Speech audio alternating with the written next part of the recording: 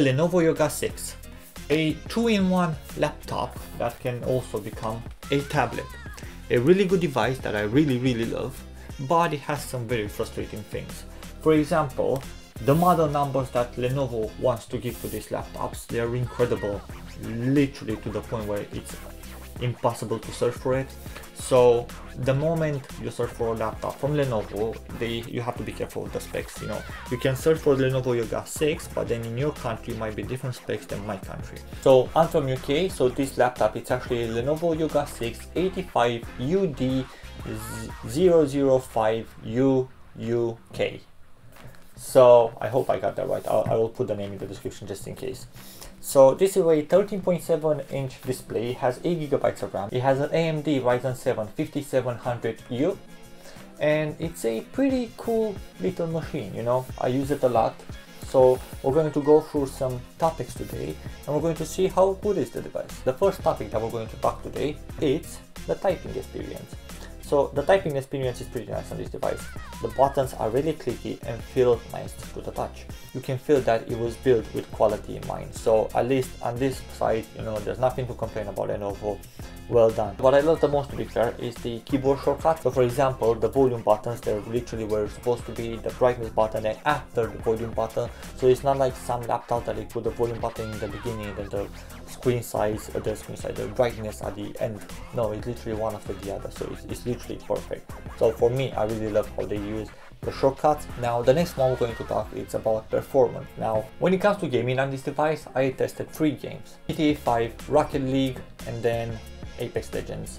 So we're going to start with GTA 5. GTA 5 is you don't have any problems on playing it. You will have to reduce the quality to low, but after that, you know, you you can play the game, you can go online, you can go offline, you can do whatever you want. So I'm going to leave the footage here for you to be able to see for a little longer how the game looks.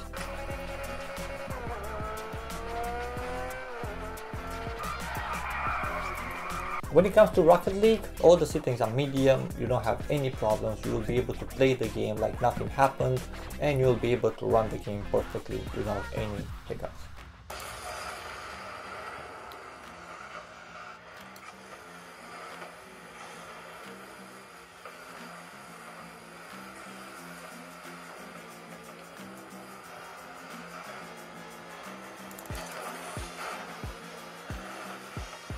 Now when it comes to Apex Legends, now this one is a little bit tricky. So you have to put everything on low because if you leave everything on medium then you won't be able to start the game for some reason. So you have to change all the settings to low.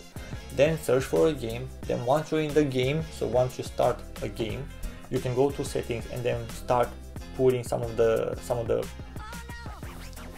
some of the settings back to you know medium or high even and stuff like that so for me, uh, shadows and anti-aliasing has to be off completely. But then the quality and the draw distance and everything, you can actually increase a little bit. So you have to search for the, uh, so the, you know, that the perfect spot where you want your settings to be and how you want your game to be to work. But the game is actually playable, which I was I was really impressed. I wasn't expecting a playable Apex Legend on this device, but I have to admit that was pretty cool and you know one of the things that I actually appreciate about this device. Now when it comes to video editing on this device, so if you want to use uh, programs like DaVinci Resolve for example, you have literally no chance. Simple tasks like cutting a video actually has 5-6 seconds uh, delay between it, which is becoming incredible to use, it's impossible. But if you want to use programs like Filmora 12 or CapCut, which I actually use to create this video. I will use a combination of Filmora and CapCut because they both have some of the things that I love. Then you don't have any problem. You will be able to use uh, the programs, you'll be able to edit the video 4K, so everything that you see right now is exported, edited the Lenovo Yoga 6, and then it's uploaded to YouTube from the same laptop. So video editing and including photo editing. So I use my I use Photoshop to do my thumbnails here on the on the device and I don't have any problems with uh, with photo editing with Photoshop so pretty sure once you will start you know building like 3D graphics yes you'll struggle if you start to do this in Photoshop but for, for the basic photo, uh, photo editing things then you won't have any problems in Photoshop with this device Now when it comes to the display on it, the display is really nice to look at. It, it gets bright enough even in the sun and you look really amazing when it comes to watching a movie. And because it's a tablet, you know, you can put it and watch a movie in tablet mode. So keep in mind because it's a tablet, it's also becoming a stand. And the resolution is 1900 by 400 which I will go about, let's say like 2K. So it's pretty decent resolution and you'll be able to enjoy all the movies and all the video games on the go with no problem. Speakers. Now the speakers, I'm not going to comment. I love them. I, I wish they were a little bit louder, but I love them. But here is a little sample for you to listen.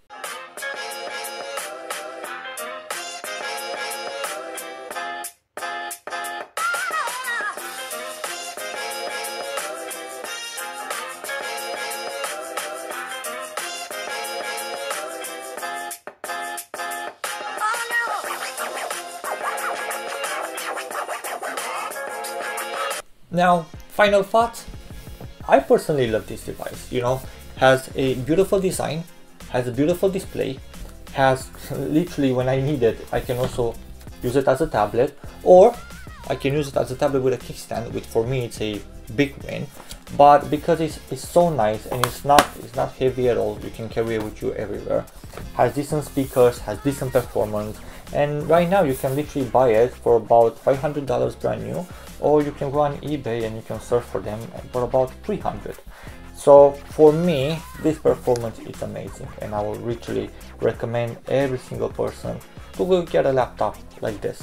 The only thing i don't like and i will literally let you guys know right now is when you search for the laptop be careful what specs you're checking so I know it's a Lenovo, Lenovo Yoga 6, but keep in mind it's also coming with an Intel version. This is an AMD version, and on Intel it also comes with an Intel Celeron version, which it's uh, don't buy that one.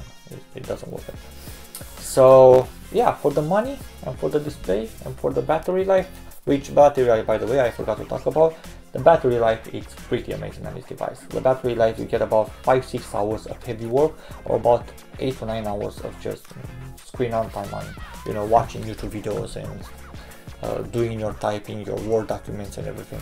So you know it doesn't beat an Apple. Don't get me wrong. An M1 for example or M2 is still better battery than this device, but uh, I, I still like it I still love it. So yeah, thank you very much for watching guys and uh, I'll see you in the next one.